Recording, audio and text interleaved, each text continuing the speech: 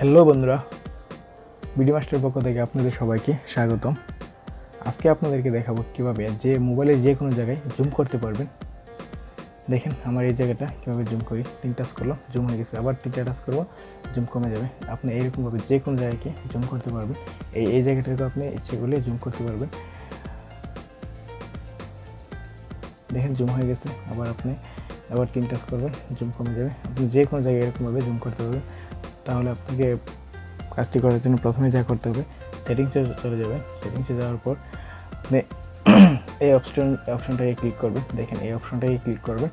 Click করার পর এই যে এই অপশনে যাবেন। এই যে এই অপশনটাতে যাবেন। যাওয়ার পর এটাতে ক্লিক করবেন। ক্লিক করার পর দেখেন, এই যে অপশনটা থাকবে, এটা আপনার অফ করা থাকবে। আপনি এটাকে জাস্ট অন করে দেবেন। অন করলে যে কোনো জায়গায় আপনি তিনটা ক্লিক করবেন জুম হয়ে যাবে। আবার তিন ক্লিক করবেন জুম কমে যাবে।